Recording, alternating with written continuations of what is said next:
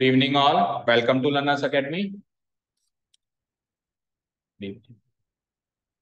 so yesterday we introduce chapter number five calculus enter किया हमने calculus का stream enter किया मैथमेटिक्स का calculus portion calculus is all about what it is all about इसके बारे में बातचीत करी ठीक है और प्लस कैलकुलस का जो सबसे पहला टॉपिक होता है लिमिट्स जो क्लास इलेवंथ में हमने स्टार्ट कर दिया था उसको हमने रिवाइज भी कर दिया राइट और उसके कुछ स्टैंडर्ड इक्वेशंस भी हमने सीखी और होपफुली आपने याद कर लिया। क्योंकि इसमें क्या है, हर चीज़ इंटरकनेक्टेड ये चीज़ याद हुई तो उससे अगली चीज़ समझ में आएगी, अगली से अगली आएगी, अगली से अगली आएगी। जब तक ये नहीं आई, तब तक अगली बात करना बेकार है। ठीक है तो होपफुली आपने कर लिया ठीक है तो अब क्लास ट्वेल्थ का कैलकुलस शुरू हो रहा है। कल तो जो सीखा था वो क्लास इलेवंथ का ही एक तरीके से रिविजन था। या ऊपर ऊपर से मोटी मोटी बात। अब पहला टॉपिक क्या है? कंटिन्यूटी और कल भी मैंने आपको एक क्रोनोलॉजी बताई थी कि कंटिन्यूटी से बनेगी डिफरेंशिएबल मतलब फ़ंक्शन कंटिन्यूस होगा तो ही वो डिफरेंशिएबल होगा। और डिफरेंशिएबल होगा तो ही उसका डेरिवेटिव निकलेगा। दैट मीन्स डिफरेंशिएशन करेंगे।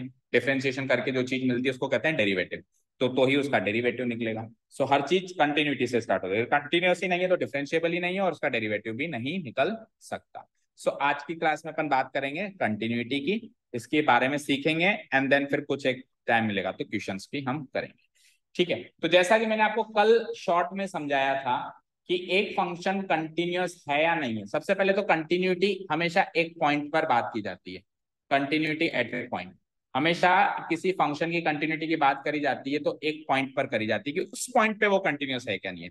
फॉर एग्ज़ाम्पल मान लो कि ये एक फ़ंक्शन है। वो फ़ंक्शन मान लो इस तरीके से चल रहा है यहाँ पे ब्रेक हो गया और फिर यहाँ से कंटिन्यू करता है। तो ये इस पॉइंट पे डिसकंटिन्यूस किस पॉइंट पे? इस पॉइंट पे।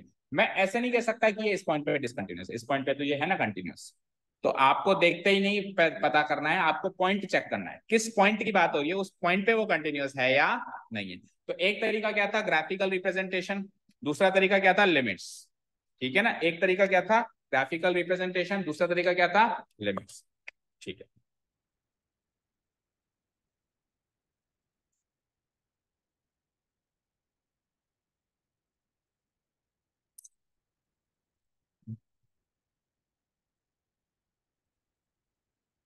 ठीक है।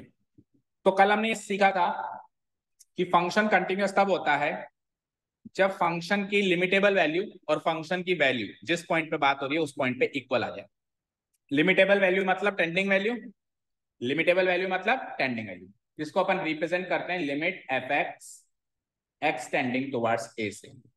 अभी वो ए लेटर जो है सी में चेंज हो जाएगा। जब कंटिन्यूटी की बात करेंगे तो उस लेटर को उन्होंने एनसीआरटी कई बुक्स में ए भी लिखते हैं वो लोग। एनसीआरटी में उन्होंने सी लिखा है। क्या लिखा है?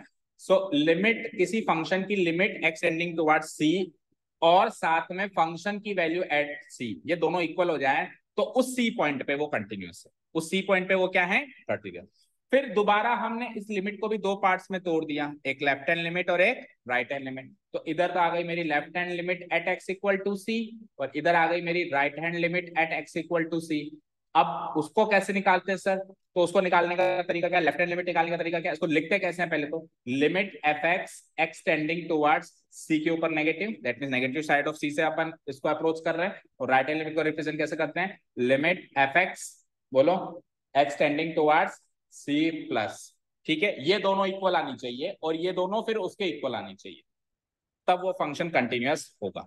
अब सवाल ये आता है अच्छा पहले ये डिस्कस कर लेते हैं कि इसके आगे क्या करते हैं। तो इसके आगे फिर इस x tending toward c minus को h टेंडिंग टुवर्ड c वाली लिमिट में हम कन्वर्ट करते हैं। वो कैसे करते हैं? वो कल हमने सीखा था। कैसे लिखूँगा मैं? Limit h tending towards zero और फ़ंक्शन ऑफ़ x हो जाएगा function of c minus h इधर इधर भी h टेंडिंग टुवर्ड्स ज़ीरो और फ़ंक्शन ऑफ़ x हो जाएगा c प्लस एच अब ये दोनों सा बराबर होने चाहिए और फाइनली ये बराबर होना चाहिए इसके। तब जाके फ़ंक्शन हो जाएगा मेरा कंटिन्यूस ठीक है, यहाँ तक क्लियर अब बात ये करते हैं कि सर कब तो हम सिंगल लिमिट में ही काम कर सकते हैं और कब हमको दो लिमिट में काम करना है। मतलब left hand limit right hand limit में एक्चुअली स्प्लिट करने की ज़रूरत कब है? तो उसका जवाब सुनो। जिस पॉइंट पे कंटिन्यूटी की बात हो रही है, जिस पॉइंट पे कंटिन्यूटी की बात हो रही है उस पॉइंट के left side and right side में अगर फ़ंक्शन की दो डिफरेंट डेफिनेशंस हैं, तब तो अलग अलग लिमिट में सॉल्व करना है। और नहीं है तो कुछ नहीं करना सिंगल लिमिट में ही काम करना। क्योंकि लेफ़्ट हैंड लिमिट और राइट हैंड लिमिट अलग अलग आने का डाउट तब ही बनेगा जब डेफिनेशन अलग अलग फॉर एग्ज़ाम्पल अगर मैं लिखा f x equal to two x अब एक्स इक्वल टू फाइव की बात करूँ तो x इक्वल टू फाइव के लेफ़्ट साइड में और राइट right साइड में फ़ंक्शन एक ही पैटर्न फॉलो करेगा ही करेगा, क्योंकि डेफिनेशन ही एक ही है टू एक्स दो का दुगुना इधर भी, पाँच के लेफ़्ट में भी दो गुना करना है, पाँच के राइट में भी दो गुना करना है। लेकिन मैं कह दू नहीं साहब, पाँच के लेफ़्ट में तो दो गुना करो और पाँच के राइट में तीन गुना करो। अब अब डाउट क्रिएट होगा। अब भी कंटिन्यूस हो सकता है, ऐसा नहीं कि कंटिन्यूस नहीं होगा। कई बार इसमें भी कंटिन्यूस हो जाता है। डबल डेफिनेशन में कंटिन्यूस हो सकता है ना? पर अब डाउट क्रिएट हो गया। अब क्या हो गया? डाउट क्रिएट तो अब आप फाइव की left hand limit and right hand limit अलग अलग लगाएँगे।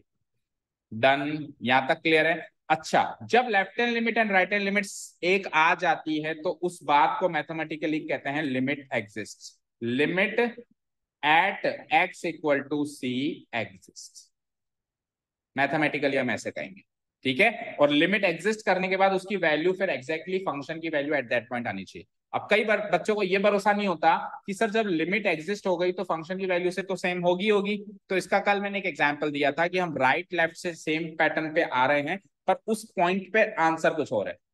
ऐसा एक ग्राफ बनाया था हमने, कैसा? कि हम सपोज़ करो राइट से भी मान लो इस पॉइंट पे आ रहे हैं, ऐसे। ठीक है ना? और लेफ़्ट से भी मान लो इस पॉइंट पे आ रहे हैं। राइट लेफ़्ट दोनों से आ रहे हैं। बट इस जगह होलो सर्किल है। मतलब एक्स इक्वल टू मान लो माइनस टू है। माइनस टू पे कुछ और आंसर है। कुछ और आंसर है, मान लो सेवन आंसर या थ्री आंसर है। तो ये वाला केस ये ग्राफिकल रिप्रेजेंटेशन किसका होगा, जिसमें लिमिट तो एग्जिस्ट कर रही है। राइट लेफ़्ट से अप्रोच तो सेम है। जब राइट लेफ़्ट से अप्रोच ही अलग अलग हो, तब तो लिमिट ही एग्जिस्ट नहीं करेगी। Left hand limit and right hand limit की वैल्यू अलग अलग आएगी। ओके लेकिन अप्रोच तो सेम है, पर फ़ंक्शन की वैल्यू उस पॉइंट पे सेम नहीं है। उसका ग्राफ कुछ ऐसा दिखाई देगा। इस केस में भी मैं डिसकंटिन्यूस ग्राफ बोलूँगा, क्योंकि यहाँ आके तो पेन उठा के ऊपर जाना ही पड़ेगा। सो लिमिट एग्जिस्ट करना कंटिन्यूस होने की गारंटी नहीं है। लिमिट एग्जिस्ट होने के बाद भी वो डिसकंटिन्यूस हो सकता है तो उस पॉइंट पे फ़ंक्शन की वैल्यू भी मैच होनी चाहिए। ओके ये सारी बातें सीखी हमने।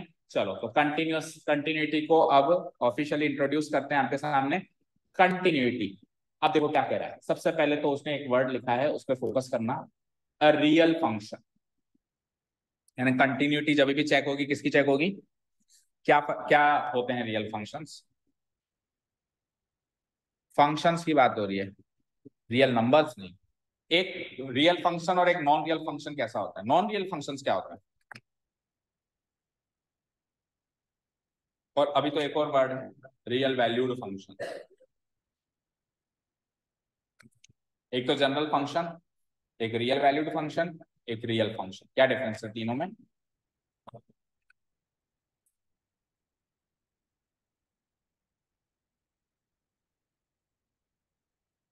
नहीं पता? इलेवेंथ में नहीं पढ़ा था? आपको तो पढ़ा है मैंने, अनुष्का। डेफिनेशन तक लिखवाइए। नोट्स उठा के दिखाऊँ। आपका तो मुझे पता नहीं है। आपने कैसे कवर किया, क्या किया? लेकिन आपको तो मैंने पढ़ाया तो मुझे तो पता है। Function is a machine the function is a यहाँ से एक्स मिलता है और एक एफ़ एक्स निकलता है। ये सीखा है? एक्स मिला और बदले में एफ़ एक्स निकला, जिसको अपन वाई भी बोलते हैं। तो अब फ़ंक्शन में केवल नंबर्स मिले ऐसा ज़रूरी नहीं है। मतलब जो मिलता है उसको डोमेन बोलते हैं जो निकलता है उसको रेंज बोलते हैं। बोलते हैं, जो जो पॉसिबल इनपुट्स हो सकते हैं एक्स की पॉसिबल वैल्यूज़ को हम डोमेन बोलते हैं। बोलते हैं, नहीं बोलते हैं?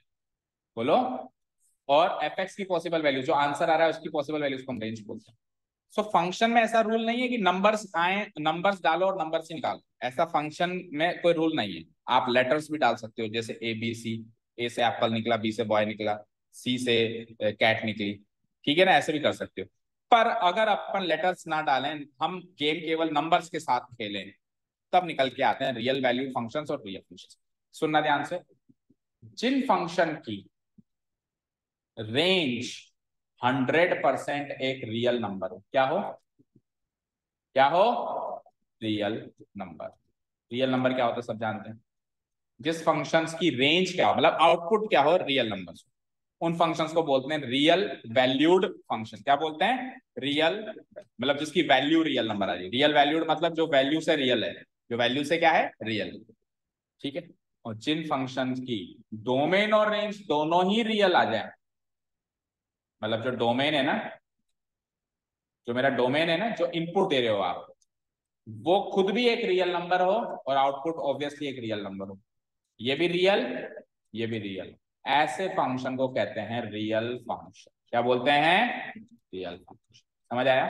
केवल रेंज अगर रियल नंबर है तो फिर रियल वैल्यूड फ़ंक्शन और दोनों ही रियल नंबर है तो रियल फ़ंक्शन यानी कि आप इनपुट में भी एक नंबर दोगे रियल नंबर और आउटपुट में भी एक नंबर आएगा। ऐसे फ़ंक्शंस को हम क्या कहते हैं? रियल फ़ंक्शन सो कंटिन्यूटी की बात और डिफ्रेंसिएशन की बात हमेशा रियल फ़ंक्शंस में चलेगी।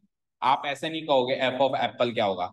या एफ़ ऑफ़ ए क्या होगा? एफ़ ऑफ़ बी क्या होगा? ए बी सी ऐसी वैल्यूज़ पुट अप नहीं करोगे। आपको रियल नंबर चाहिए। हाँ उन नंबर्स को आपने हाल फ़िलहाल के लिए सी माना हुआ ए माना हुआ, वो एक डिफरेंट केस है। बाकी वो है तो एक नंबर ही ना। ओके डन चलो, सुनो। So a real function f x सबसे पहली बात फ़ंक्शन रियल होना चाहिए। Is set to be continuous वो कंटिन्यूस होना एक पॉइंट सी पे। सी नामक पॉइंट पे वो कंटिन्यूस होगा। एक पॉइंट पे बात करेंगे हम शुरुआत में, है ना? इन इट्स डोमेन और वो सी उसकी डोमेन में होना चाहिए ऑब्वियस बात है। मैं कहूँगा एक्स इक्वल टू फाइव पे वो कंटिन्यूस है या नहीं है। तो एक्स इक्वल टू फाइव उसकी डोमेन में होना चाहिए। अब सुनना ध्यान से, एक और चीज़ सुनो मान लो, किसी फ़ंक्शन की डोमेन है सारे रियल नंबर्स एक्सेप्ट मान लो फाइव फाइव उसकी डोमेन में नहीं है।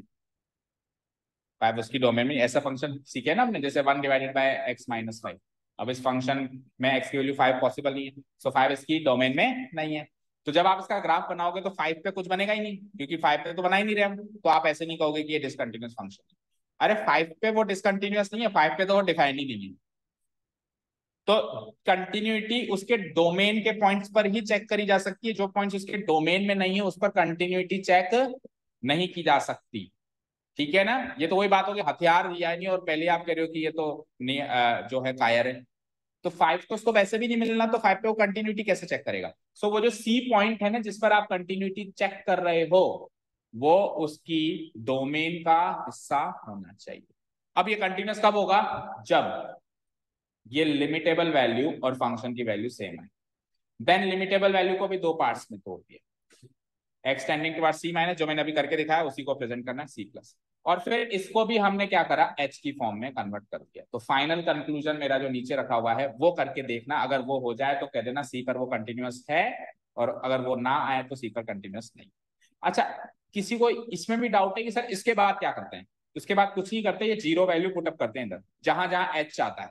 जहाँ जहाँ एच आता है, वहाँ पे क्या करते हैं? ज़ीरो पुटअप करते हैं जस्ट इतना सा काम करते हैं। और ज़ीरो पुटअप करने के बाद इनडिटर्मिनेट फॉर्म आनी चाहिए बस। अगर इनडिटर्मिनेट फॉर्म आती है, जो हमने सीखी थी इलेवंथ में बताई थी मैंने infinity by infinity zero by zero ऐसी अगर फॉर्म आती है तो फिर लिमिट इक्वेशन का सहारा लेते हैं। और जब तक इनडिटर्मिनेट फॉर्म नहीं आती तो कुछ नहीं करना होता है इसकी वैल्यू ज़ीरो पुटअप करनी होती है और आंसर निकालना होता है। इतना सरल सा काम है। ठीक है कंटिन्यूटी की पहली एक्सरसाइज सबसे सरल, सबसे बोरिंग ठीक है ना? पर एक एक क्वेश्चन खुद से करके देखेंगे, क्योंकि क्या होती है कि ऐसी एक्सरसाइजेस धोखा दे देती है। धोखा दे देती है मतलब हमको लगता है हमको आती है, लेकिन एग्ज़ाम में हमसे उसका क्वेश्चन नहीं हो पाता। क्योंकि हम उसको बिल्कुल ही लाइटली लेके प्रैक्टिस एक बार भी नहीं करते। ठीक है ना? है बड़ी सरल बट बहुत लेंथी है। लेंथी बहुत है। कुछ ऑमिटेड है क्या उसमें से? या सारी है? पूरा। टॉपिक कौन सा कटा है? फाइव पॉइंट एट आखिरी आखिरी। बस, बाकी सातों है ना? यानी आपके को तो एक ही फ्लो में चल रहा है पूरा, सात एक्सरसाइज का ओके फाइन ठीक है तो यहाँ तक आप लिख ही लोगे। कंटिन्यूटी की अच्छा अब आगे सुन। कंटिन्यूटी को आगे फर्दर बात करते हैं। अब सपोज़ करो मैंने एक फ़ंक्शन कहा f x equal to two x मैंने कहा at x equal to three पर चेक करो ये कंटिन्यूस है या नहीं। आप चेक कर दोगे। सी की वैल्यू थ्री लेके चेक कर दोगे, कोई दिक्कत नहीं। सपोज़ करो, मैंने कहा मैं कोई पॉइंट ही नहीं दिया। मैंने कहा चेक करो ये कंटिन्यूस है यानी यानी कि फ़ंक्शन हमेशा फ़ंक्शन की कंटिन्यूटी तो एक पॉइंट पे चेक की जाती है ना सर तो आप पॉइंट ही नहीं दे रहे हो, आप तो सिंपल पूछ रहे फ़ंक्शन कंटिन्यूस है या नहीं है? इसका मतलब इसकी डोमेन के हर एक पॉइंट पे मुझे चेक करना है। अगर वो उसकी डोमेन के हर एक पॉइंट पे कंटिन्यूस है तो वो ओवरऑल कंटिन्यूस तो अगला नोट पढ़ो। करते कैसे क्वेश्चन में बताऊँगा डोंट वरी आपको जितना भयानक लग रहा है उतना भयानक है नहीं। बाकी मीनिंग वाइज आप समझ के चलो। मीनिंग क्या है इसका? मैंने कहा इज़ दिस फ़ंक्शन कंटिन्यूस मैंने बताया नहीं at x equal to three seven five क्या? कुछ नहीं बताया। दैट मीन उसकी डोमेन डिसाइड करो। उसकी डोमेन क्या होगी वो आपको सोचनी क्योंकि फ़ंक्शन रिलेशन एंड फ़ंक्शन पढ़ चुके हैं वो नहीं बताएगा इसकी डोमेन क्या है। जैसे साइन एक्स आएगा तो उसकी डोमेन क्या आपको सोचो ठीक है ना? सो so, उसकी डोमेन के हर एक पॉइंट्स पे आपको चेक करनी है कि वो क्या है कंटिन्यूस है या नहीं। तो नोट देखो क्या है? और ये नोट हमको हर एक क्वेश्चन में कॉपी पेस्ट करना पड़ेगा। Real function f x is set to be continuous function if it is continuous at all the points in its domain इसकी डोमेन पे हर एक पॉइंट पे वो कंटिन्यूस है दैट मींस फ़ंक्शन कंटिन्यूस है। डिक्लेयर हो ओके फाइन ठीक है। अब वो चीज़ चेक चेक कैसे करते हैं? उसका तरीका अभी क्वेश्चन करेंगे तब देखिए हो। गया कंटिन्यूटी खत्म, बताओ। बस, यही चेक ये जो, ये फॉर्म ये चीज़ देख रहे हो? ये चीज़ देख रहे हो? बस, यही कंटिन्यूटी यही कंटिन्यूटी क्वेश्चन में ये चेक करना है आपको। और कईयों में तो ये दो भी चेक नहीं करने हैं। इसकी जगह भी सिंगल लिमिट ही चेक करनी है। जिसमें डेफिनेशन अलग अलग है तो ही दो चेक करने left hand limit right hand नहीं तो लिमिट भी एक ही चेक करना तो सरल सा काम है ना, पर थोड़ा सा बोरिंग काम है, ये ज़रूर है। ठीक है, अब बात करते हैं अगली चीज़ अल्जेब्रा ऑफ़ कंटिन्यूटी तो कंटिन्यूस फ़ंक्शन का अल्जेब्रा देखना है। अल्जेब्रा मतलब समझते ही क्या होता है? जोड़, बाकी, गुणा, बा। ठीक है ना? Next topic is algebra of continuity तो देखो, बहुत ही सरल सी बात ये कहता है कि दो रियल फ़ंक्शंस की बात करेगा एफ़ एक्स और जी दोनों रियल होने चाहिए। अगर वो दोनों कंटिन्यूस हैं, किसी पॉइंट पर तो उनका सम भी कंटिन्यूस होगा उसी पॉइंट पर, उनका डिफरेंस भी कंटिन्यूस होगा उसी पॉइंट पर, उनका प्रोडक्ट भी कंटिन्यूस होगा उसी पॉइंट पर, और तो और उनका जो रेशियो बनेगा दैट मीन डिवीज़न बनेगा, उनका जो क्वेश्चन आएगा, वो भी कंटिन्यूस होगा उसी पॉइंट पर पर क्वेश्चन में एक शर्त है नीचे वाले फ़ंक्शन की वैल्यू ज़ीरो नहीं होनी चाहिए। नहीं तो वो अगेन इनडिटर्मिनेंट फॉर्म या नॉट वैलिड फॉर्म बन जाएगी। ठीक है? तो बड़े ही सरल सा कॉन्सेप्ट है अल्जेब्रा ऑफ़ कंटिन्यूटी पर इस टॉपिक का इस्तेमाल नहीं करते बच्चे करीब। अब देखो, इस्तेमाल करना चाहिए। देखो, कई बार इसका इस्तेमाल करके क्वेश्चन को शॉर्ट में सॉल्व किया जाता है। आ गया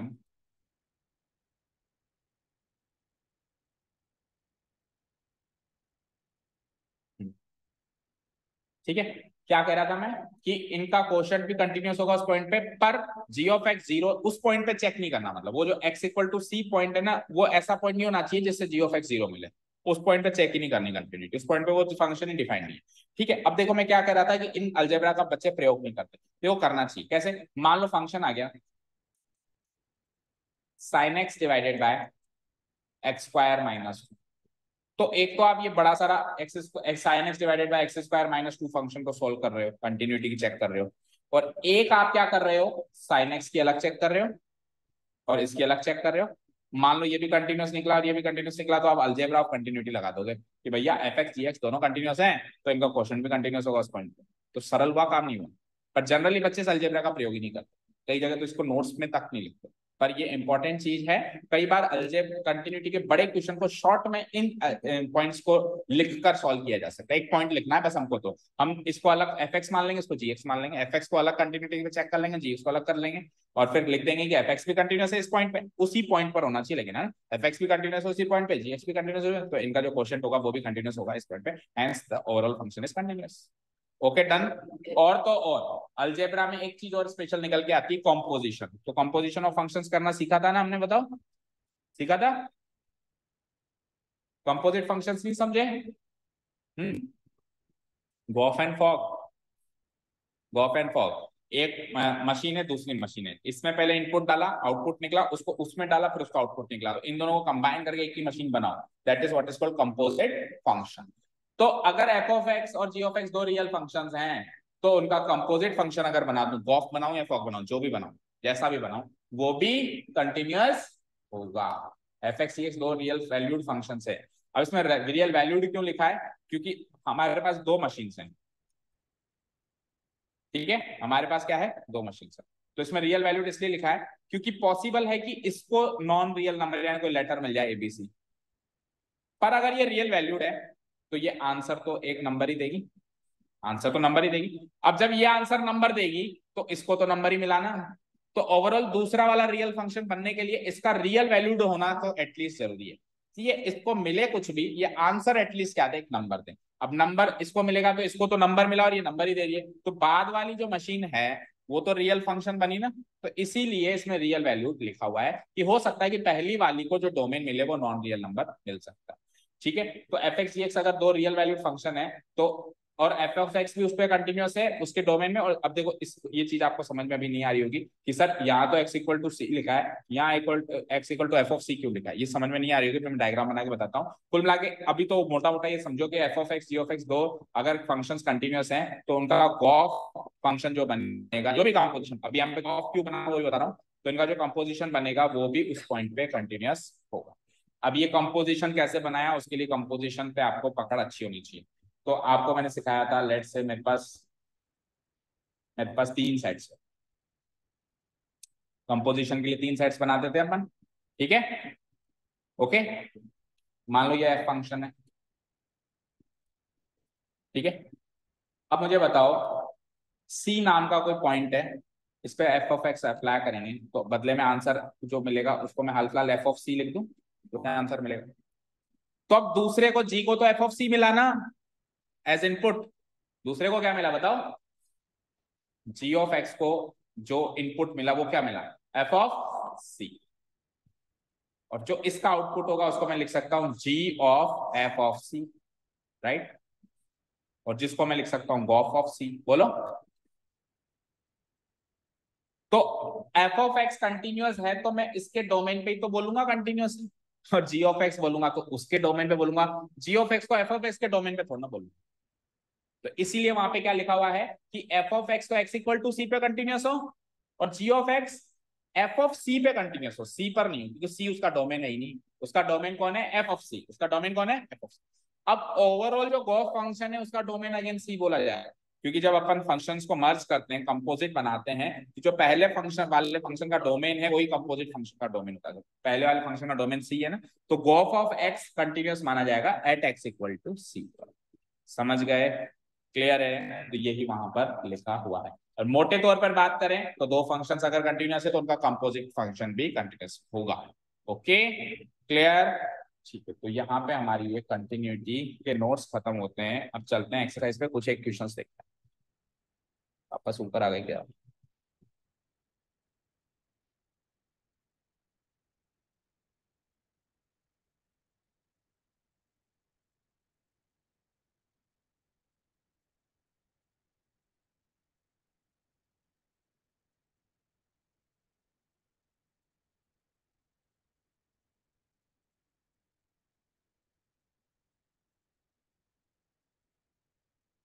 Differentiability is the next exercise इसको करते हैं बंद।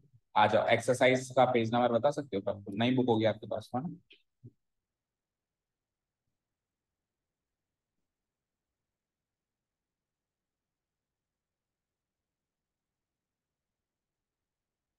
हाँ।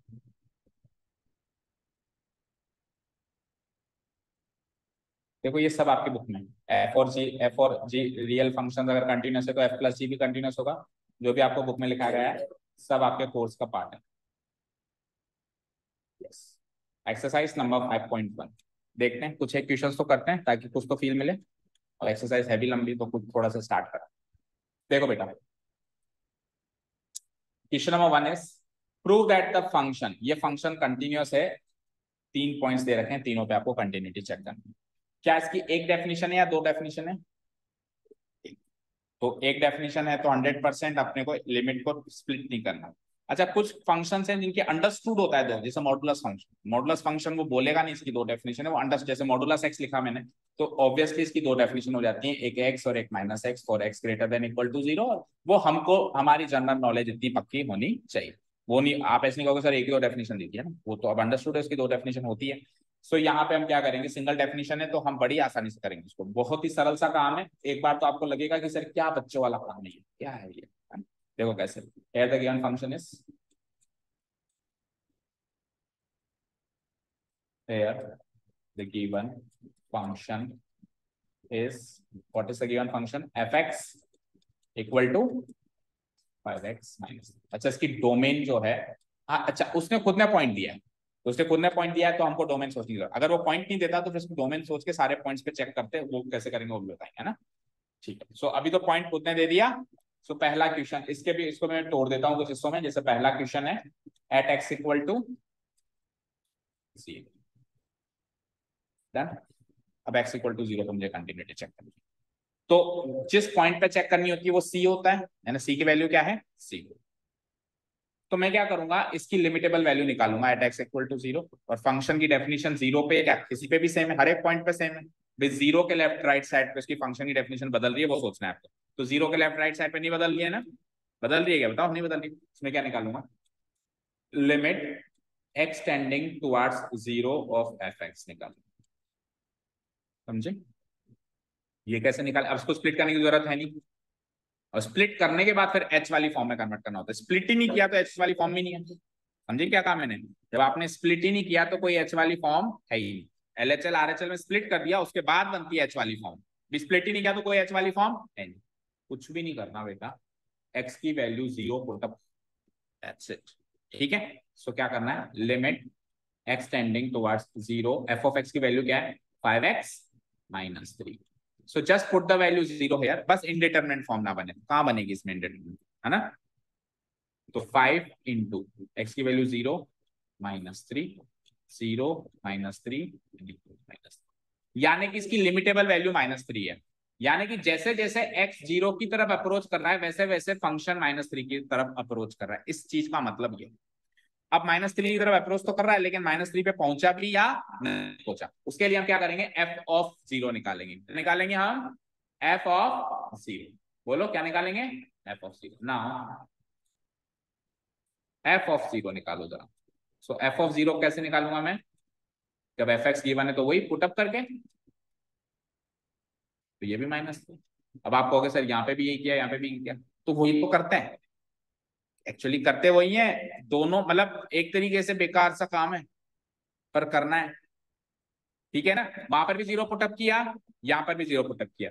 यहाँ पर तो ज़ीरो जब पुटअप करते हैं तो इनडिटर्मिनेट फॉर्म के बारे में आएगी नहीं आएगी, घबराते नहीं है, लेकिन वहाँ पे लिमिट को जब सॉल्व करते हैं तो वहाँ पे इनडिटर्मिनेट फॉर्म नहीं आनी चाहिए। अगर आ जाए तो फिर लिमिट इक्वेशन याद होनी चाहिए। धीरे धीरे आगे बढ़ेंगे तो ऐसी इंडिटर्मिनेट फॉर्म भी बनती जाएगी।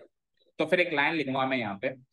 Here limitable value of function F X x tending towards zero is equal to f of zero is equal to f of zero और जो वैल्यू आएगा वो भी लिख दो क्या ही दोनों की value minus three so so the given function fx given function fx is continuous is continuous at x equal to बताओ, इससे सरल कुछ काम होगा क्या? कुछ काम नहीं, कुछ प्रॉपर स्टेप्स अपने को याद रखने, पहले ये करना है, फिर ये करना है। अब अगला पॉइंट क्या है? एक्स इक्वल टू ज़ीरो के बाद अगला पॉइंट क्या है? लेटर से माइनस थ्री करूँगा।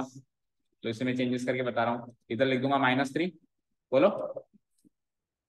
अब एक्सटेंडिंग टुवार्ड्स माइनस थ्री हो जाएगा। एक्सटेंडिंग टुवार्ड्स माइनस थ्री हो जाएगा। सो माइनस थ्री हो जाएगा तो यहाँ माइनस थ्री लिख दूँगा।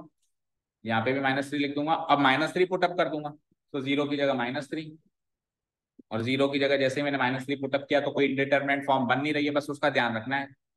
So five into minus three minus fifteen minus three कितना हो गया? माइनस एटीन माइनस एटीन तो लिमिटेबल वैल्यू माइनस एटीन आई। और फ़ंक्शन की वैल्यू एट माइनस थ्री वो भी उतनी आएगी। वो भी सेम आएगी। माइनस थ्री ठीक है? सो फाइव इंटू अगेन वो का वही काम five into minus three equal to minus eighteen ठीक है? So limitable value at minus three and function की वैल्यू एट माइनस थ्री दोनों की दोनों आ रही है minus eighteen and the given function f x is continuous at x equal to minus three तीसरा भी ऐसे हो जाएगा। वेरी इजी पहले क्वेश्चन में कोई डाउट बिल्कुल बकवास सा, काम है? ठीक है? ओके चलो, आगे बढ़ते हैं। अब है एग्जामिन करो कंटिन्यूटी इसकी इस पॉइंट पे। Same to same same to same है? बस उसमें तीन पॉइंट्स दे रखे थे, इसमें दो पॉइंट्स एक पॉइंट दिया है and one more thing function quadratic दे दिया। अच्छा आपने स्ट्रेट लाइंस वाला चैप्टर पढ़ा है अगर? पढ़ा? स्ट्रेट लाइंस वाला chapter chapter ten class eleven तो उसमें स्ट्रेट लाइंस मतलब इसको देखकर हम कैसे इसकी लाइन के ग्राफ बनाए, वो सिखाया गया है। याद है आपको? तो आता है आपको कैसे बनाते हैं? स्लोप फॉर्म में कन्वर्ट करके या स्लोप इंटरसेप्ट फॉर्म में कन्वर्ट करके वो सब सीखा था हमने? देखो f x equal to five x minus three का ग्राफ कुछ ऐसा बनेगा। फ़र्स्ट ऑफ़ ऑल देखो इसको y equal to m x plus c से कंपेयर करेंगे। सो so, एम की वैल्यू क्या आई? फाइव और सी की वैल्यू सी होता है वाई इंटरसेप्ट तो वाई इंटरसेप्ट का माइनस थ्री माइनस थ्री लगभग यहाँ होगा। यहाँ से तो लाइन गुजरती हुई जाएगी। और दूसरी बात स्लोप पॉजिटिव है। तो स्लोप पॉजिटिव है तो एक्यूट एंगल बनाती है और स्लोप अगर नेगेटिव है तो ऑप्टिव एंगल बनाती है with the positive side of x axis so positive side of x axis के साथ पॉजिटिव साइड ऑफ़ एक्सिस के साथ एक्यूट एंगल भी बनाना है तो कुछ ऐसी लाइन बनेगी। ये इसका ग्राफ बनेगा। एक्चुअली वो जो चैप्टर है ना, वो आपकी ज़िंदगी में आया ही इसलिए है कि आप इसको देख के फटाफट से ग्राफ बना दो। वो टेंथ क्लास की तरह वो सॉल्यूशंस ना निकालने पड़े। X comma y x comma y x comma ठीक है? और अंदाजन ग्राफ बनाना होता है एग्जैक्ट नहीं बनाना तो अंदाजन ऐसे बनेगा। तो आप देखो x equal to zero x equal to zero पे कोई ब्रेक हुआ क्या? पॉइंट चलता गया। X equal to minus three minus three यहाँ रहा होगा इस पे भी चलता गया। तो ये ग्राफ से भी आप बता सक, सकते हो कि कंटिन्यूस है या नहीं। मान लो एमसीक्यू आ जाए तो एमसीक्यू में तो आप फटाफट से ग्राफ बना कर यार कंटिन्यूसली तो चल रहा है ओके ना? चलो let's solve the second one second में क्या फ़ंक्शन गिवन है बोलो? गिवन फ़ंक्शन इज़ तो तीन तक करते हैं आज, है ना? The given function is, बोलो, क्या है? F X equal to minus one और चेक कहाँ पे करनी है आपको continuity at X equal to three आपको चेक करना सो लिमिटेबल वैल्यू निकालू मैं?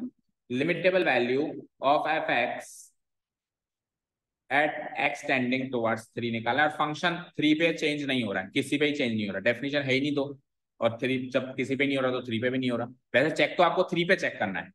मुद्दा तो ये है कि थ्री पे चेंज हो रही है कि नहीं डेफिनेशन लेकिन वो कहीं नहीं हो रही तो ऑब्वियसली थ्री पे भी नहीं हो रही। ओके ना? सो so, इसको निकालने के लिए क्या करूँगा? Limit x tending towards three और एफ़ की वैल्यू रख देंगे हम। Two x square minus one just put the values we will not get any indeterminate form so two into three का स्क्वायर माइनस वन क्या होता है? Nine two eighteen minus one seventeen and अब आप f of minus f of three निकालें। Minus three था? Three था। Three था ना? एफ़ ऑफ़ थ्री निकालें। तो एफ़ ऑफ़ थ्री कैसे निकलेगा? वही टू इंटू थ्री का square minus one nine two या eighteen minus one seventeen here limitable value of f x when x is trending towards 3 is equal to f of 3 and they both are equal to 17 so, the given function is continuous at x equal to very easy. ठीक है? तो first second question similar pattern देते हैं? Okay third question देखो. Third question में examine करना है. देखो फ़र्स्ट क्वेश्चन में प्रूव करना था तो प्रूव्ड लिख देना बस. और एग्जामिन करने में वो कंटिन्यूस हो भी सकता है, नहीं भी हो सकता है। प्रूव करने में हंड्रेड परसेंट होगा। ये हिंट्स ले लेना। चलो, अब थर्ड में एग्जामिन करनी है, पर आपने क्या चीज़ नोटिस करी थर्ड में? नई बात। किस पॉइंट पे कंटिन्यूटी चेक करनी है, वो पॉइंट गिवन नहीं तो यहाँ से पूरा चैप्टर के का, पूरे कैलकुलस का सबसे बकवास क्वेश्चन ठीक है ना? अब आपको इसके डोमेन के हर एक पॉइंट पे चेक करनी है। क्या वो पॉसिबल है क्या? सोचो। डोमेन में तो लाखों, करोड़ों नहीं, अरबों इनफाइनाइट पॉइंट्स सारे रियल नंबर मुझे बताओ, इस फ़ंक्शन का डोमेन क्या है? एनी रियल नंबर इस फ़ंक्शन का डोमेन है, कोई भी रियल नंबर तो क्या पॉसिबल है हर एक रियल नंबर पर चेक करना? नो तो फिर क्या करें? तो हम क्या करते हैं? देखो बेटा सपोज़ करो, आपने देखा होगा आपके जैसे घर में बिजनेसमैन है कोई बिजनेसमैन है, जैसे आपके घर में, आपके घर में बिजनेसमैन है तो आपने सुना होगा कि आप दुकान पे सैंपल भरने आए दुकान पे या फैक्ट्री पे कहीं पे सैंपलिंग करने आए सैंपलिंग करना क्या होता है कि माल की छोटी सी चेक चेकिंग करना। तो अब मान लो वहाँ पर पूरा गोदाम भरा हुआ है तो पॉसिबल है एक एक को उठा उठा के वो मशीन में डाल के चेक करें। क्या करते हैं वो? रेंडमली उठाते हैं सैंपल अगर सैंपल पास तो माल पास सैंपल गंदा। तो फिर चाहे से आप कितना भी चिल्लाओ कि आपने गलत तरह वहाँ से उठाया है क्या? सैंपल गंदा तो पूरा माल रिजेक्ट ऐसे होता है। तो पूरी डोमेन उसमें से एक पॉइंट कोई भी सी नाम का मैं मानूँगा, जो उन पूरी डोमेन का रिप्रेजेंटेटिव सी पे कंटिन्यूस पूरी डोमेन में कंटिन्यूस समझे क्या? इस तरीके से, ये तरीका है पूरी डोमेन को वेरीफाई करने का। यानी क्लास मॉनिटर एक तरीके से, वो सी क्या है? पूरी क्लास का मॉनिटर है। अगर मॉनिटर से सवाल पूछा टीचर ने मॉनिटर ने आंसर दे दिया तो मान लेंगे क्लास इंटेलिजेंट है।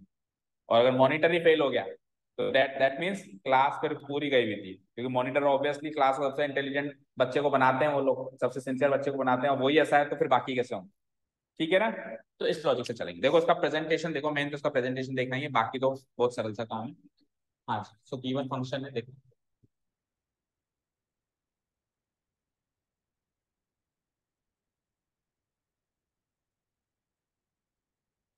Given function is fx equal to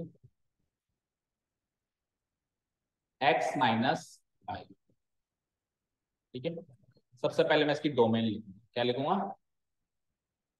इसकी डोमेन क्या होती है? इसकी डोमेन क्या होती है बोलो? लीनियर फ़ंक्शन है अल्जेब्रिक फ़ंक्शन की डोमेन एनी रियल नंबर इसमें एक्स की ऐसी कोई वैल्यू है जो नहीं डाल सकते अपन। डाल सकते हैं? तो डोमेन क्या होती है? All possible values of x तो एक्स के कोई भी, अभी मान लो डिवीज़न में होता तो फिर सोचता कि जो नीचे है डिवीजर वो ज़ीरो नहीं बनना चाहिए। पर यहाँ तो ज़ीरो भी बन सकता है, कुछ भी ठीक है। सो एनी रियल नंबर अब अगर ये फ़ंक्शन दो पार्ट्स में डिफाइन हो रहा होता तो इसकी डोमेन को भी दो पार्ट्स में तोड़ना होता। जैसे मान लो फाइव पे डेफिनेशन चेंज कर रहे होते तो इसकी डोमेन को तोड़ देता मैं। माइनस इन्फिनिटी से फाइव तक एक ले लेता और फाइव से पॉजिटिव इन्फिनिटी अलग ले लेता। ऐसे करते। लेकिन तब जब फाइव के इर्द गिर्द डेफिनेशन चेंज होती पर ऐसा ही है ना, इसकी डेफिनेशन एक ही है साइंस तो इसकी में वो दो पार्ट्स में तोड़ने की ज़रूरत नहीं। अब क्या करें? अब कुछ ऐसा करेंगे। डोमेन आ रहा गया। ठीक है। Now now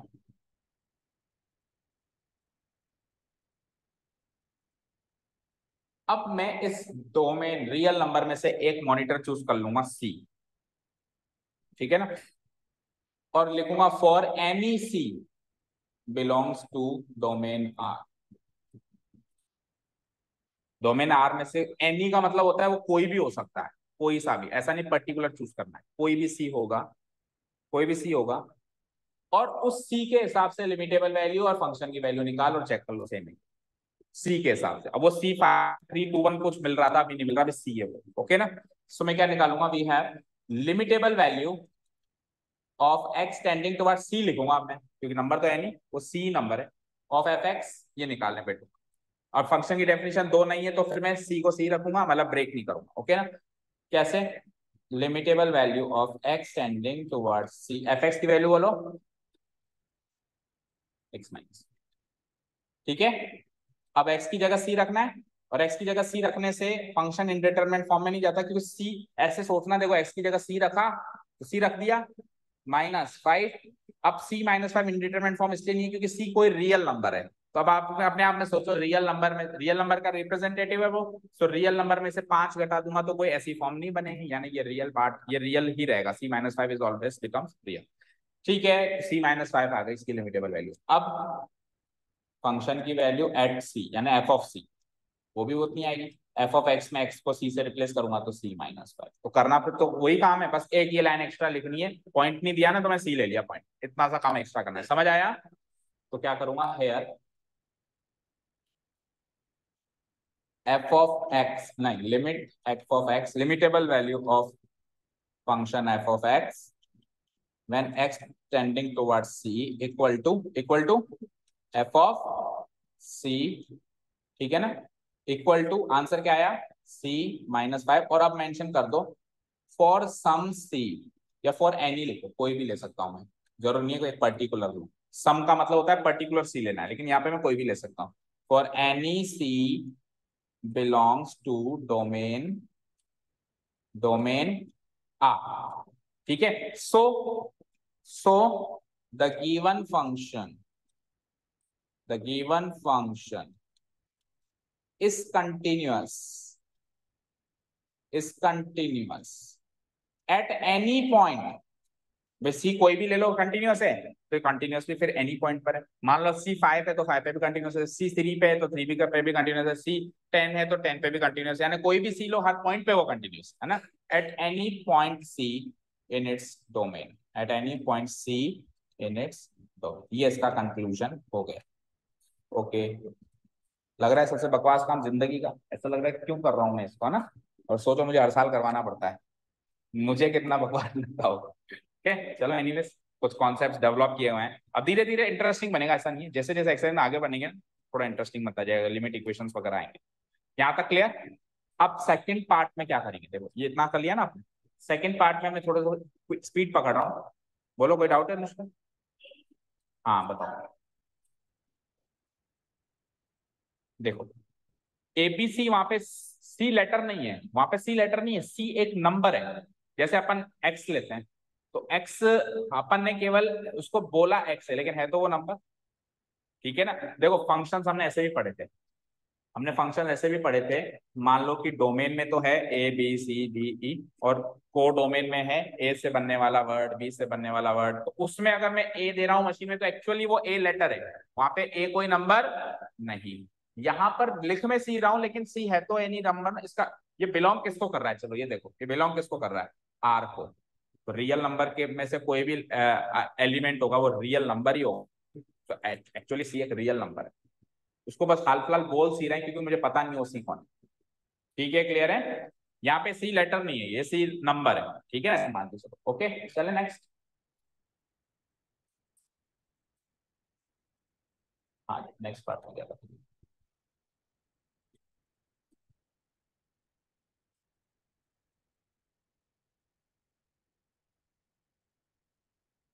let's see next part में हम क्या करेंगे? क्वेश्चन नंबर टू बोलो। क्वेश्चन नंबर टू है हमारे पास। एफ़ एक्स इक्वल टू अब देखो इसमें अपन वो लगा दें algebra one divided by x minus ठीक है? One divided by x minus सबसे पहले तो अच्छा इसमें अलजेब्रा लगा के भी कर सकते हो और बिना लगाए भी कर सकते हो, क्योंकि ज़्यादा मुश्किल क्वेश्चन है नहीं। तो इसको तो चलो बिना अलजेब्रा के ही करो। तो अच्छा सा आएगा तो फिर एफ़ एक्स जैसे sine x divided by sine x की डोमेन अलग देख लेंगे, ये अलग देख लेंगे।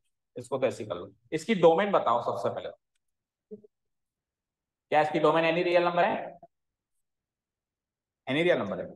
फाइव को अप करना जरा।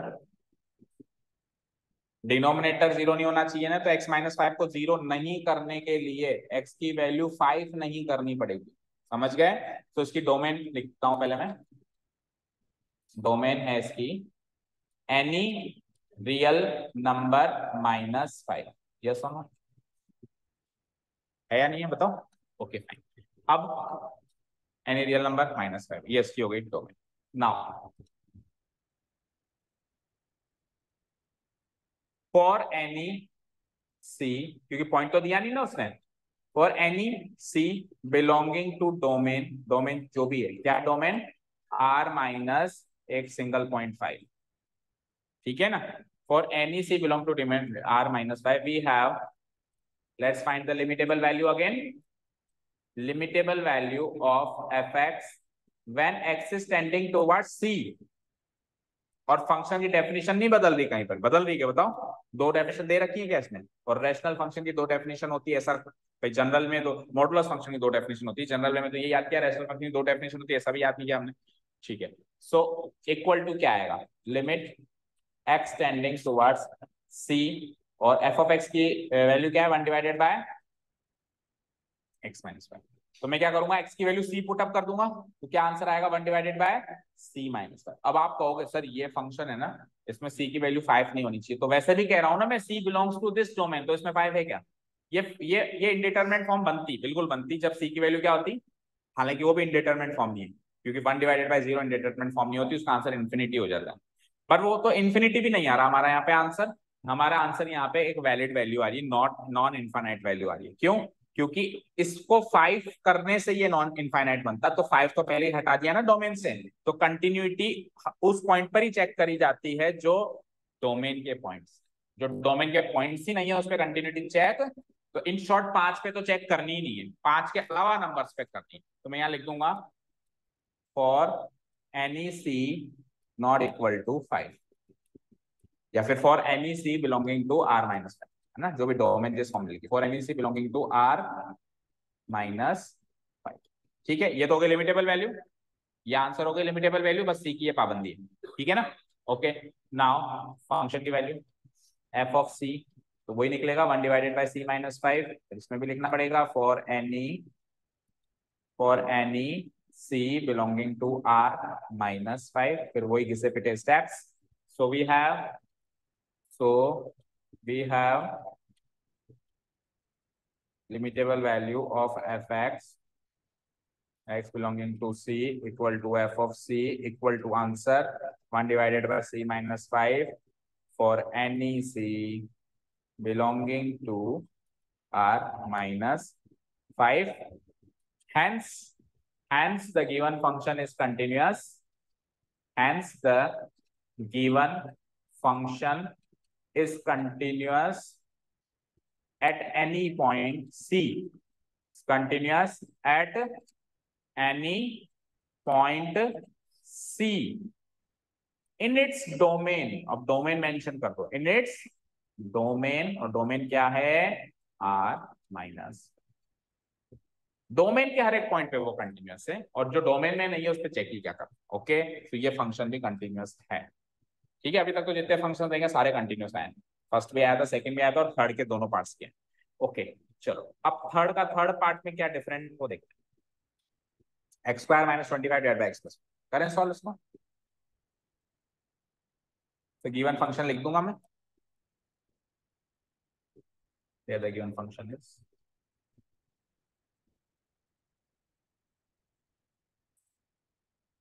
और फाइनली हमारे पास एक मॉडुलस फ़ंक्शन है। यहाँ डेफिनेशन चेंज होगी। यहाँ आएगा लेफ़्ट हैंड लिमिट एंड पहली बार चलो, आएगा जब देखते हैं। अभी रुको इसको करो।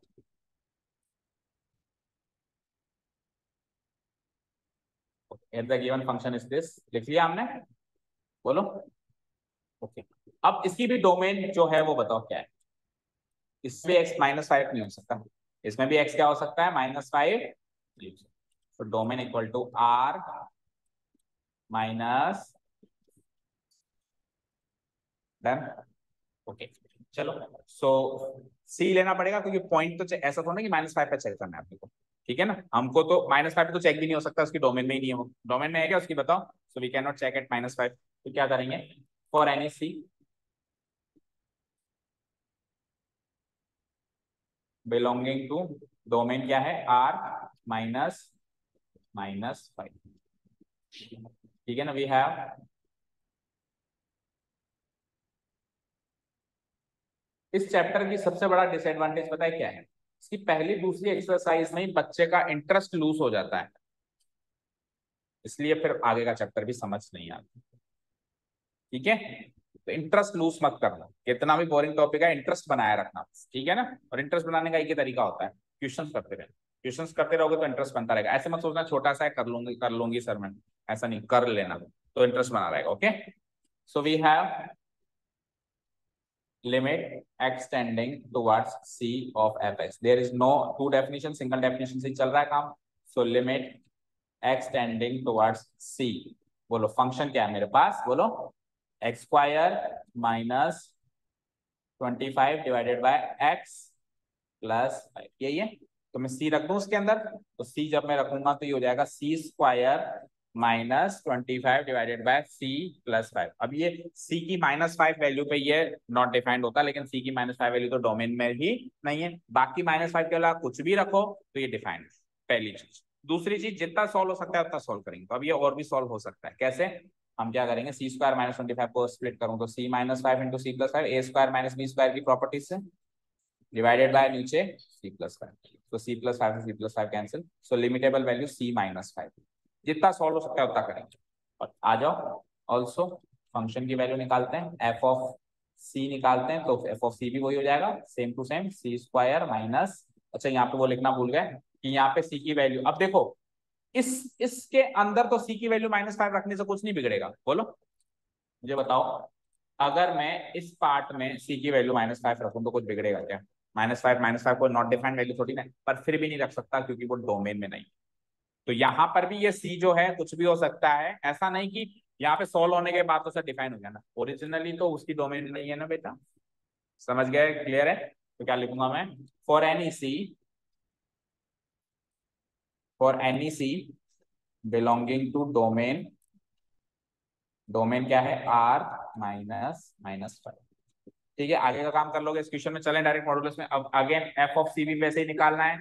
एफ़ ऑफ़ सी का आंसर भी यही सारी कैलकुलेशन करके और ये, यही लाइन लिखनी है। Hence the given function is continuous at all points in its domain और डोमेन लिख देना R minus minus okay done okay अच्छा वन मोर थिंग यहाँ पे एक चीज़ और सुनो।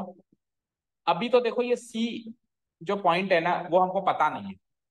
तो हमने क्या करा? पुट कर दिया। पुट कर दिया ना? जब पता हो, जैसे थ्री फोर फाइव सिक्स तो पुट नहीं किया जाता। पहले इसको आइडेंटिटी से सॉल्व किया जाता है और फाइनली अभी भी हमने देखा जाए तो गलत किया, ये गलत है आप पहले फ़ंक्शन को सॉल्व करो तो x square minus twenty five क्या होता है? एक्स माइनस फाइव तो आप क्वेश्चन में नोट्स में ऐसे ही करना, ऐसे मत करना, ये this is the wrong way आप पहले इसको सॉल्व करना x minus five into x plus five divided by x plus five ये गया। यहाँ पे वही सेम लगाए रखना लिमिट एक्सटेंडिंग टुवर्ड्स सी ऐसे कैसे लगाए रखना है इसको, है ना? और फिर नेक्स्ट स्टेप में आप क्या करना equal to limit extending towards c और बचा क्या? एक्स माइनस फाइव बचा। अब आप सी पुटअप करना और आंसर सी माइनस करना। मतलब पुट करके बाद में सॉल्व नहीं करना सॉल्व करके बाद में पुटअप करना है, हमेशा। डन क्लियर चाहे उससे फ़र्क, अभी आपको सर क्या फ़र्क पड़ा? फ़र्क पड़े या ना पड़े प्रोसेस किया। आप पहले फ़ंक्शन को आपस में सॉल्व करो then put the final value जो आपको ठीक है? चलें फाइनली मॉडुलस पे। आ जाओ। ये आखिरी क्वेश्चन करते हैं आज का, फिर कल से दूसरे क्वेश्चन से हेयर द गिवन फ़ंक्शन तो पहले तो मॉडुलस फ़ंक्शन को डिफाइन करेंगे अच्छे से। तो डेफिनेशन पता होना चाहिए आपको।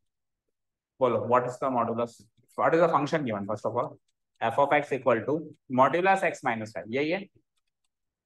अब मुझे बताओ मॉडुलस एक्स क्या होता है? क्या डेफिनेशन होती है modulus x x when x is greater than equal to zero minus x when x is यानी कि यानी कि अंदर वाला माल एज इट इज़ उठ के बाहर आ जाएगा जब अंदर वाले एलिमेंट की वैल्यू ज़ीरो है ज़ीरो से और अंदर वाले एलिमेंट का नेगेटिव कर देंगे जब अंदर वाले एलिमेंट की वैल्यू लेस देन ज़ीरो ये कहिए उधर अप्लाई करूँ। सो so, अंदर वाला आइटम क्या है? X minus five as it is उठ के बाहर आ गया। जब अंदर वाली चीज़ की वैल्यू एक्स की नहीं अंदर वाली चीज़ की वैल्यू आप इधर एक्स कॉपी कर दो कहीं गलत हो जाएगा पंगा हो जाएगा फिर तो, है ना? अंदर वाली चीज़ की वैल्यू ज़ीरो या ज़ीरो से बड़ी हो तो अंदर वाली चीज़ क्या है? एक्स माइनस फाइव इसकी वैल्यू ज़ीरो या ज़ीरो से बड़ी। और अंदर वाले आइटम का नेगेटिव कर दो मॉडुलस के अंदर वाले आइटम का जब इसकी वैल्यू इस अंदर वाले आइटम की वैल्यू लेस देन समझ आया? अब इसको फर्दर और रीडिफाइन करते हैं। मतलब इसको, इसमें से कुछ सॉल्यूशन इसको थोड़ा सा सॉल्व कर सकता हूँ। ये तो ओरिजिनल मॉडुलस एक्स का डेफिनेशन थी। अब ये मॉडुलस एक्स में भी एक स्पेशल केस है मॉडुलस एक्स माइनस फाइव उसकी डेफिनेशन ये बनी। बनी? नाउ व्हाट अच्छा आपको पता है इसका ग्राफ ऐसे बनता है वी वी शेप का ग्राफ और एक्स माइनस फाइव है तो फाइव पे जाके स्प्लिट करेगा। प्लस फाइव पे। माइनस फाइव है ना तो प्लस फाइव पे वो मूव करेगा। ओके ठीक है। आओ आगे। So x minus five as it is अच्छा x minus five greater than equal to zero तो आपने लीनियर इनइक्वालिटीज पढ़ी होंगी। माइनस फाइव उधर जाएगा तो क्या बन जाएगा? x greater than equal to plus five और minus x minus five five minus x हो जाएगा। फ्लिप हो जाएँगे दोनों when x less than five तो ये है मेरी final definition of the given function अब मैं इस फाइनल डेफिनेशन को देखूँगा, पीछे क्या हुआ उसको नहीं देखूँगा। तो आप देखिए, x पाँच या पाँच से बड़ा है तो ये, और x पाँच से छोटा है तो ये दैट मीन्स पाँच पे डेफिनेशन चेंज हो रही है। तो अब इसके डोमेन को भी पाँच पे ब्रेक करना पड़ेगा, क्योंकि इसने पाँच, अगर ये पूछता, अगर ये पूछता कि पाँच पे कंटिन्यूटी चेक करो तो मैं पाँच पे करता। इसने पूछा क्या पाँच पे करो? ना, इसने क्या कहा? चेक करो। तो अब आपके लिए तो सारे रियल नंबर है। तो सारे रियल नंबर मतलब आर लेकिन अब इस आर को तीन डोमेन में D one D two D three में हम ब्रेक करेंगे। एक तो पाँच से छोटे नंबर एक एग्जैक्टली पाँच और एक पाँच से बड़े नंबर पाँच से छोटे नंबर और पाँच से बड़े नंबर पे चेक करने का वही तरीका है सी क्योंकि पाँच से छोटे नंबर तो बहुत सारे हैं, पाँच से बड़े नंबर भी बहुत सारे हैं तो सी मॉनिटर बिठा लूँगा मैं। और पाँच पे एग्जैक्टली पाँच पे ब्रेक करने का चेक करने का तरीका है left hand limit and right hand limit क्योंकि पाँच के लेफ़्ट साइड राइट साइड में डिफरेंट डेफिनेशन है। समझ में आया सारा काम? ओके शुरू करो? ओके तो ये थोड़ा सा लेंथी क्वेश्चन है। हाँ जी। सो so, हेयर पहले तो मैं डोमेन लिखूँ। सो डोमेन ऑब्वियसली मॉडुलस फ़ंक्शन की एनी रियल नंबर होती है लेकिन इसको ब्रेक कर देता हूँ। मैं लिखता हूँ माइनस इन्फिनिटी टू फाइव जिसमें फाइव भी शामिल नहीं है। यूनियन एग्जैक्टली पाँच। यूनियन पाँच से लेके प्लस इन्फिनिटी बोलो, कोई doubt let it be D one D two D two D one union D two union अब आप एक एक करके डोमेन वन टू एंड तो पहले वन एंड थ्री पे चेक करते हैं, क्योंकि वन एंड थ्री पे तो वही है फॉर्मेलिटी जो पिछले क्वेश्चन में फॉर्मेलिटी करी है, वो की वही सी वाली फॉर्मेलिटी करनी है वन एंड क्योंकि इतने सारे नंबर्स बहुत सारे नंबर्स है ना तो सी लेना पड़ेगा। और इस पूरे इंटरवल में एक ही डेफिनेशन है। तो सी सी वाला लेकर जब एक ही डेफिनेशन होती है तो क्या करना होता है? फॉर्मेलिटी वाला ही काम। ठीक है ना? ओके चलो तो लिखेंगे कैसे? ये तो मैंने ब्रेक कर दिया। अब case one case one when domain is when when x belongs to domain one और डोमेन वन क्या है? माइनस इंफिनिटी टू ठीक है। ठीक है? सो फॉर एनईसी यहाँ पे तो एक ही तरीका है for any c for any c here for any C small C लिखना ही है ना? Belongs to D one which is which is what which is minus infinity to five we have वो लिमिटेबल वैल्यू सी पर और function की value सी पर, है ना? We have limitable value c पर, यानी कि limit of f x extending towards c equal to निकाल दी सो so, अब आप ये सोचो कि ये सी अभी कहाँ है? माइनस इंफिनिटी से फाइव के बीच में। सो so, उस जगह पर फ़ंक्शन की कौन सी डेफिनेशन फॉलो होगी? दो डेफिनेशन है ना फ़ंक्शन की? जब एक थी तो सोच ही नहीं रहे थे लगाए जा रहे थे लगाए जा रहे थे लगाए। दो है तो सोचनी पड़ेगी ना। सो so, पाँच से छोटे नंबर है ना? तो पाँच से छोटे नंबर पे कौन सी डेफिनेशन है? ये देखो इसमें देखो पाँच से छोटे नंबर पे कौन सी डेफिनेशन है? फाइव माइनस एक्स कौन सी डेफिनेशन है? फाइव माइनस एक्स तो यहाँ पे अब मैं एफ़ की जगह लिख दूँगा फाइव माइनस एक्स समझ आया? और एक्स टेंडिंग टुवर्ड्स सी को सी समझ आया? यहाँ पे वो सी जो है इस रेंज में। तो डेफिनेशन भी उसी की रेंज की फॉलो होगी। अब यहाँ पे आप एक्स की जगह क्या रखेंगे? सी तो it is equal to five minus अब ये सी जो है इस रेंज इस डोमेन का है लेकिन, है ना? क्लियर अब फ़ंक्शन की value at c and f of c वो भी वही निकलेगी। क्योंकि सी किस रेंज का है? इस रेंज का है, इस डोमेन का है, इस डोमेन का है तो इस डोमेन में फ़ंक्शन की डेफिनेशन क्या थी? फाइव माइनस एक्स तो क्या हो जाएगा ये? फाइव माइनस तो मैंने क्या कहा? पाँच से छोटे और पाँच से बड़े नंबर में तो वही सी वाली रामायण है, वही बोरिंग सा काम है ना? एग्जैक्ट पाँच पे कुछ इंटरेस्टिंग काम, क्योंकि उसमें फ़ंक्शन की डेफिनेशन चेंज हो रही है और पहली बार अपन L H L R H L निकालेंगे। ओके ना? समझ आया? ठीक है। So here limitable value. Limitable value of x tending towards c of fx equal to f of c और इक्वल टू जो आंसर आया, क्या आया? फाइव माइनस सी ओके ना? अच्छा यहाँ पे ये भी लिख दो कि सी की वैल्यू कहाँ कहाँ से कहाँ तक है ना? For any c for any c belonging to क्या डोमेन है ये? माइनस इंफिनिटी टू फाइव इधर भी लिख दो for any c belonging to minus infinity to five और फोर इधर भी लिख दो for any C belonging to minus infinity to done case one तो इसका कंक्लूडिंग स्टेटमेंट क्या हो जाएगा so we can conclude that the function is F X is continuous ऊपर लिख देता हूं so we can conclude that F X is continuous at any point c in domain d1 at any point C domain, in domain D D1 fine अब domain one के बाद domain three, जो case two लो, वो domain three का ले लो। ठीक है? डोमेन चेंज कर दो, क्या हो जाएगी? फाइव टू इंफिनिटी फाइन यहाँ पे क्या हो जाएगा? डोमेन थ्री हो जाएगा ये। फिर क्या हो जाएगा? फाइव टू इंफिनिटी इसी में चेंज कर देता हूँ। डोमेन वन के बाद डोमेन केस तो टू है, लेकिन डोमेन थ्री ओके उसके बाद फिर आ जाओ। ये फ़ंक्शन की डेफिनेशन अब पाँच से बड़े नंबर के लिए पाँच या पाँच से बड़े के लिए तो ये डेफिनेशन है तो एक्स माइनस फाइव लिखूँगा और उस हिसाब से आंसर जो हो जाएगा सी माइनस फाइव आ जाएगा। ठीक है? यहाँ पे डोमेन चेंज कर देना। और इसका आंसर भी क्या आ जाएगा? सी माइनस फाइव आ जाएगा। और यहाँ पे डोमेन चेंज कर देना। फिर वो की वही रामायण। दोनों का आंसर सी माइनस फाइव आ रहा है फॉर एनी ये डोमेन चेंज कर देना। Hence fx is continuous at any point in domain D3 बोलो केस टू टू तो कॉपी पेस्ट हो जाएगा केस वन का। अब चलते हैं केस थ्री पे। चलें फाइनली जो main cases now case three case case three में एक्स कहाँ से कहा एक्स की वैल्यू क्या है? फाइव एग्जैक्टली फाइव पे चेक हो रहा है यहाँ पे। एट एक्स एट एक्स पहले मैं लिख देता हूँ। X belong to domain D two ठीक है ना? और डोमेन डी टू क्या है? एग्जैक्टली exactly पाँच। ये तो केस को इंट्रोड्यूस कर दिया।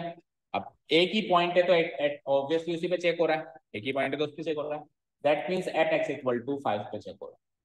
क्या हो रहा है? At x equal to five पे चेक हो रहा है।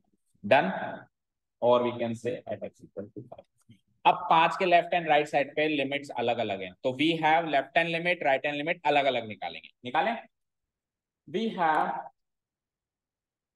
L H L left hand limit at x equal to five ये निकालने वाले हैं। कैसे? Limit x tending towards 5 negative. That means negative side of 5 of fx कैसे निकालते हैं बेटा?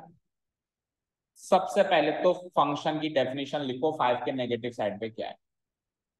मतलब फाइव से छोटे नंबरों पे क्या है। पहले तो फ़ंक्शन की डेफिनेशन लिखनी लिखो क्या है? फाइव से छोटे नंबरों का डेफिनेशन क्या है? Five minus x so f of x की जगह क्या लिख दूँगा मैं? फाइव माइनस एक्स अब लिमिट को कन्वर्ट करो एच में। अब लिमिट को कन्वर्ट करो।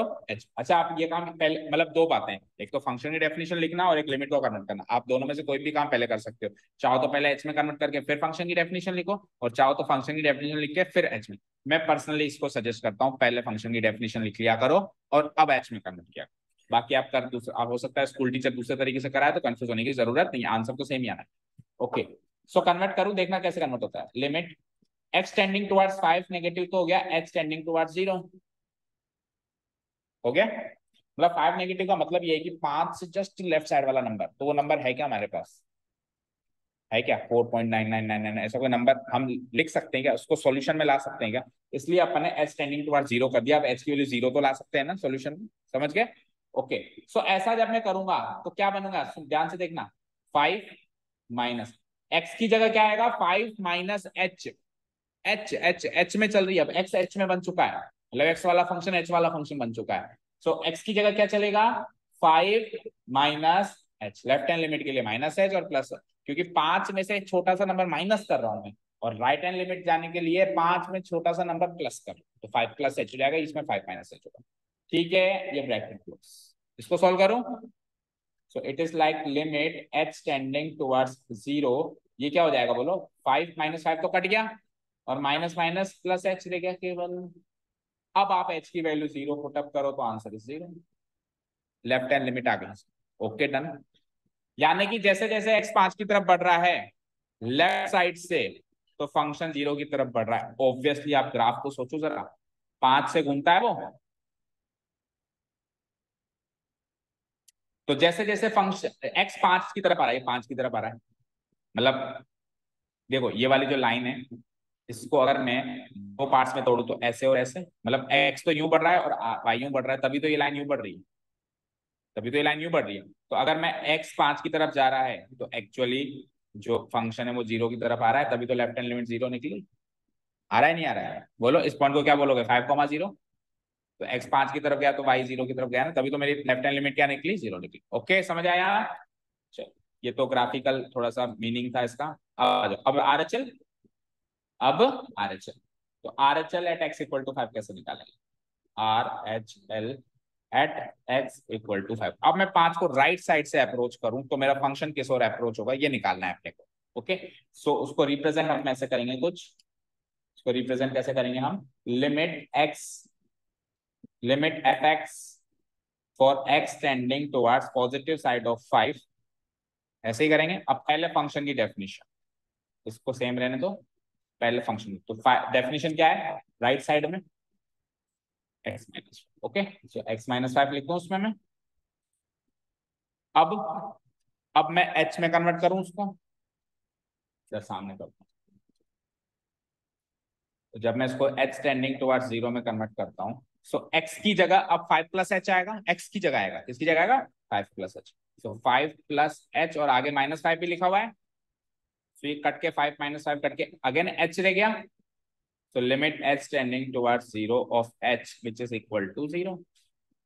अब अब फ़ंक्शन की वैल्यू एट ज़ीरो यानी कि अब क्या निकालेंगे हम?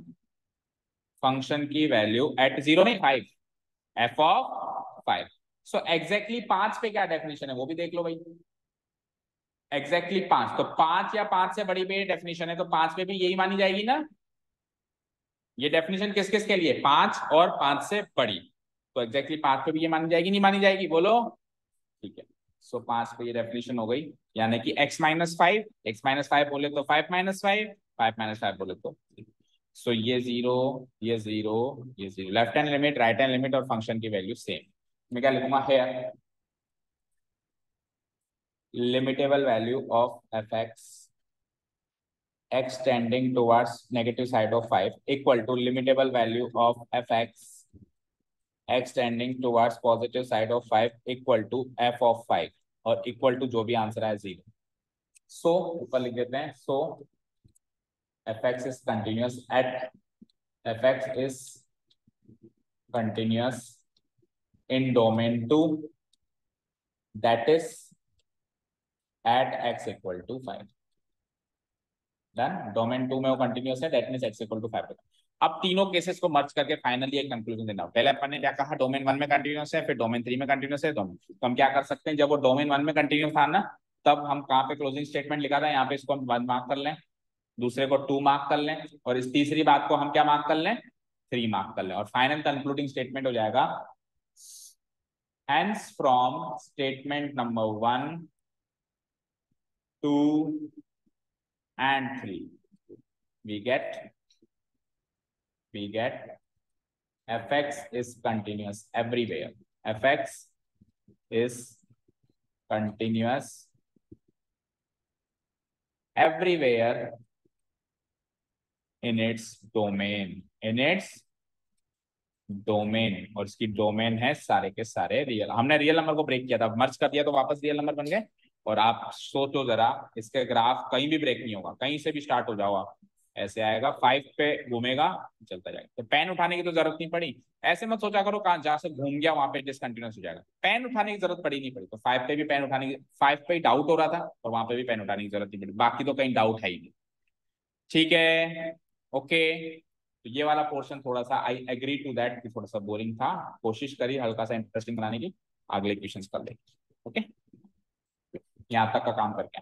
Thank you so much for listening to us have a nice day keep